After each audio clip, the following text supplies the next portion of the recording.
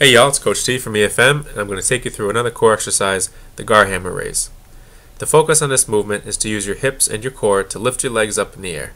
To do this, start by laying on your back with your feet straight up and your legs out by the side for balance.